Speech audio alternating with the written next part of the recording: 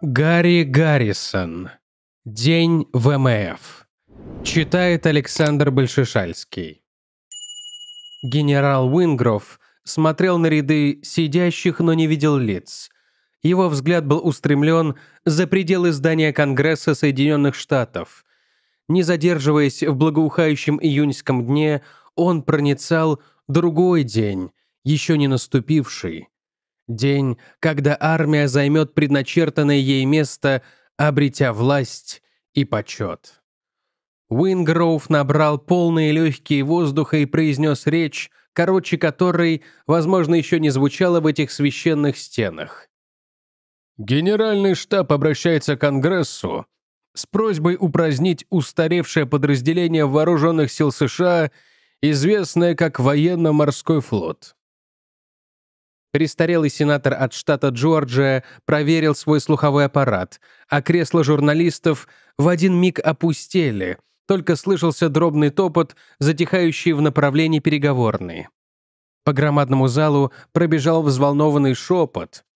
Одна за другой головы поворачивались к сектору представителей флота, где шеренги одетых в голубое возбужденно шевелились и гудели, словно потревоженные в улье пчелы. Группка мужчин, окружавших дородного человека в мундире, обильно расшитым золотым позументом, расступилась, и адмирал Фитц Джеймс медленно поднялся на ноги. Его пронизывающий взгляд запросто повергал в трепет всякую мелкую сошку. Но генерал Уингров был этому военачальнику не по зубам. Адмирал с отвращением мотнул головой, всем своим видом выражая оскорбленное достоинство. Он повернулся к аудитории, на лбу пульсировала жилка. «Позиция генерала для меня непостижима, равно как и причины такого безосновательного выпада в сторону ВМФ. Наш флот всегда служил и будет служить самым первым рубежом обороны Америки. Я прошу вас, джентльмены, оставить без внимания прозвучавшую сейчас просьбу, так же, как вы пренебрегли бы высказыванием любого человека, который, эм, ну, слегка помутился рассудком. Я настоятельно рекомендую отправить генерала на обследование в соответствующую клинику, а также проверить психическое здоровье всех лиц, причастных к его нелепому демаршу». Генерал ответил со спокойной улыбкой. «Я понимаю, адмирал, что вы несколько раздосадованы. И на самом деле не виню вас за это, однако давайте не будем сводить вопрос общенациональной важности к мелким личным дрязгам. Обращаясь к Конгрессу с просьбой об упразднении ВМФ, армия опирается на реальные свидетельства. Свидетельства, которые будут предъявлены завтра утром. Повернувшись спиной к разъяренному адмиралу, генерал Уингров широким жестом обвел собравшихся государственных мужей. «Приберегите свое решение до указанного времени, джентльмены. Не судите поспешно, пока воочию не убедитесь в силе довода, на котором основана наша просьба. Это конец эпохи. Утром военно-морской флот присоединится к прочим вымершим видам – птице, додо и бронтозаврам. Кровяное давление у адмирала скакнуло до новых, рекордных высот, и глухой стук упавшего тела был единственным звуком, нарушившим гробовую тишину в гигантском зале. Первые лучи утреннего солнца согревали белый мрамор мемориала Джефферсона и бликовали на касках солдат и крышках автомобилей, продвигавшихся вперед медленным тугим потоком. Сюда съехался весь Конгресс, сирены полицейских мотоциклов расчищали дорогу перед депутатскими машинами. Со всех сторон, едва не бросаясь под колеса, наседала толпа государственных служащих и простых жителей столицы. Тут же напирали фургоны радио и телевидения. Микрофоны и камеры были приведены в полную боевую готовность. Все предвещало «Великий день». Вдоль берега, повторяя его изгибы, аккуратными рядами выстроились всевозможные машины цвета хаки.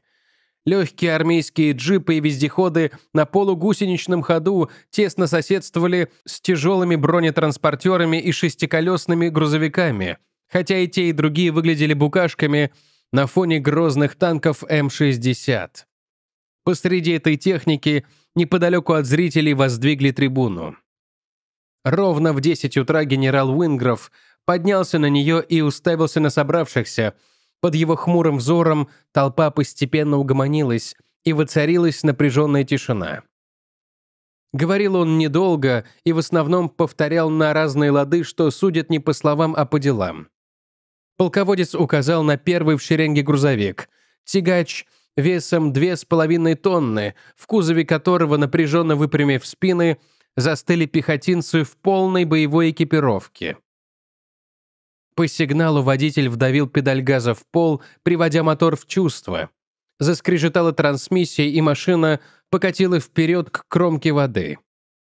Толпа дружно ахнула, когда передние колеса тягача со скрипом перевалили через мраморный парапет, а затем грузовик круто устремился вниз в мутные воды реки Потамак. Колеса коснулись воды, и поверхность как будто просела под автомобилем, приняв в то же время странный стеклянистый вид. Грузовик взревел, увеличивая обороты, и двинулся вперед по реке, а вода проседала под ним, как под намасленной иголкой. В двухстах ярдах от берега машина остановилась. Солдаты, подгоняемые сержантом, высыпали наружу, выстроились в линию и дружно четко салютовали, исполнив прием на караул. Генерал козырнул в ответ и дал знак остальным машинам.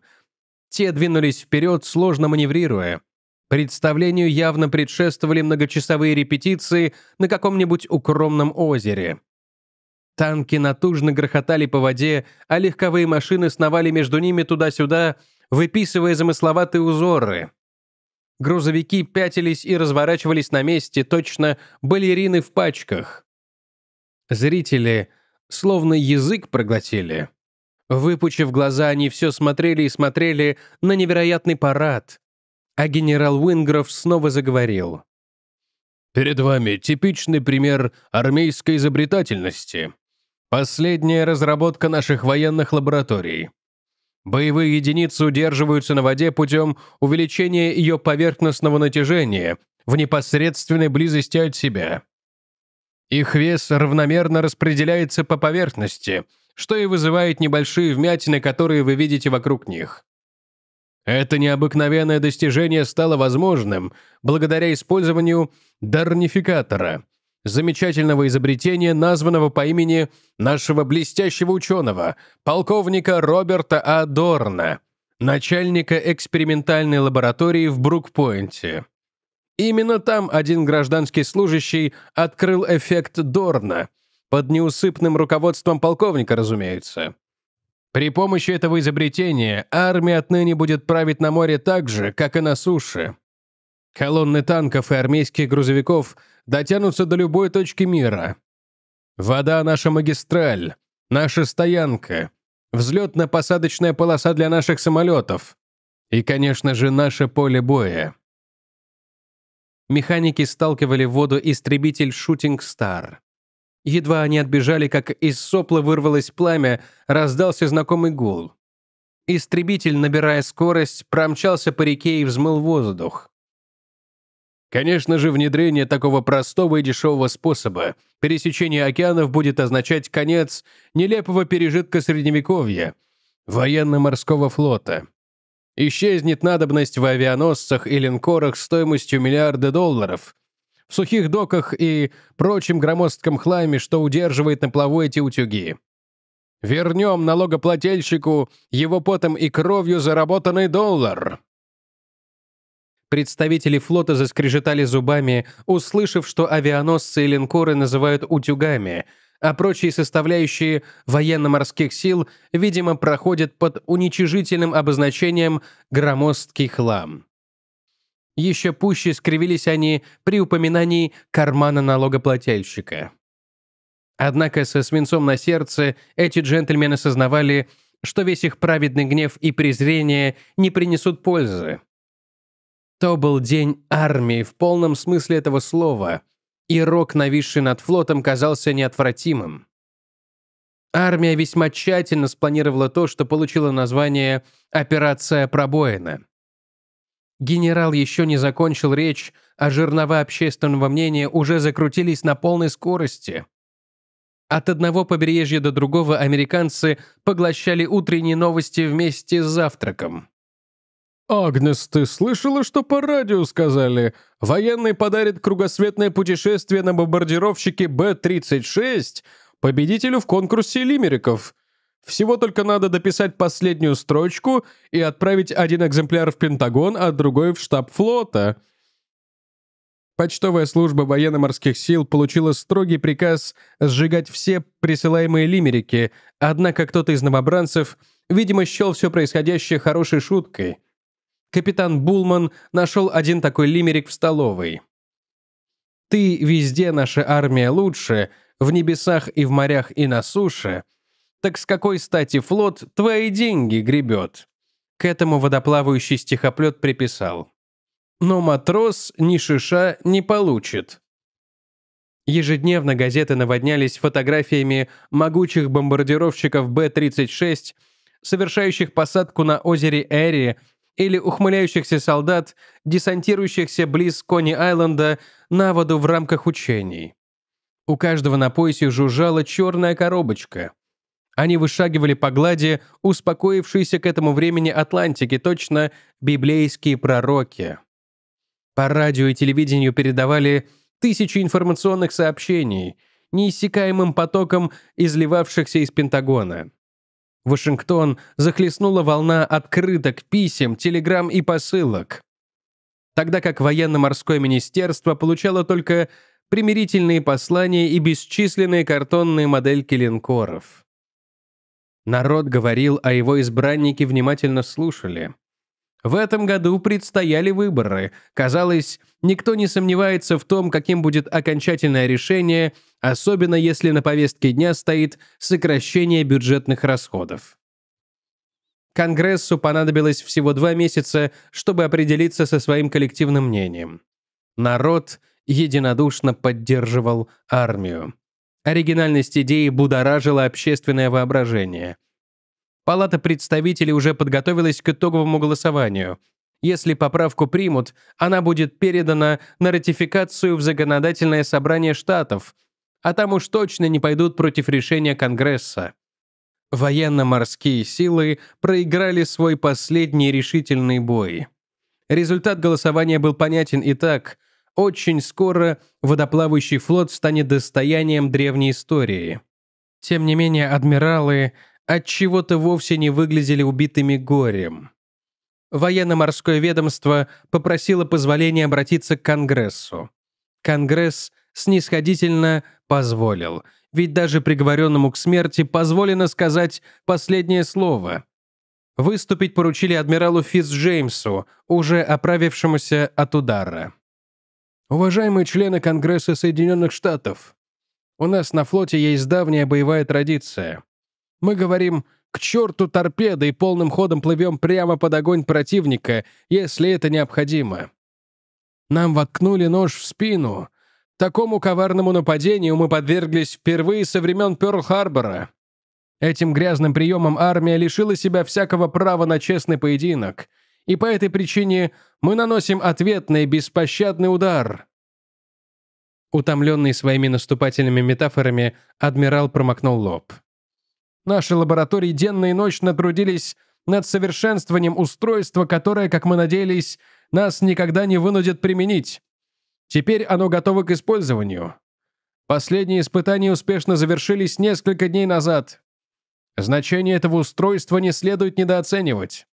Мы настолько уверены в его необходимости, что требуем упразднения армии». Он махнул рукой в сторону окна и рявкнул одно единственное слово. Смотрите!» Все посмотрели. На мгновение зажмурились и снова посмотрели в окно. Терли глаза и таращились опять. По Конститюшн-авеню, прямо по разделительной полосе, величественно плыл линкор «Миссури». Голос адмирала торжествующе гремел, раскатываясь по залу ревом победного рога. Разжижитель первой модели, как видите, временно уменьшает энергию связывания, которая удерживает вместе молекулы. Твердые тела превращаются в жидкости, корабль, оснащенный таким устройством, может плыть по всему миру. Как по воде, так и по суше. Ну что же, голосуйте, джентльмены. Мир ждет вашего решения. Большое спасибо за прослушивание этого ролика. Если вам понравилось, я буду очень признателен, если вы напишите комментарий, даже просто сердечко или огонечек. Это поможет Ютубу понять, что это видео можно предлагать посмотреть другим зрителям. Неравнодушные люди, желающие поддержать меня и мой канал финансово, могут это сделать по реквизитам в описании. Спасибо всем большое.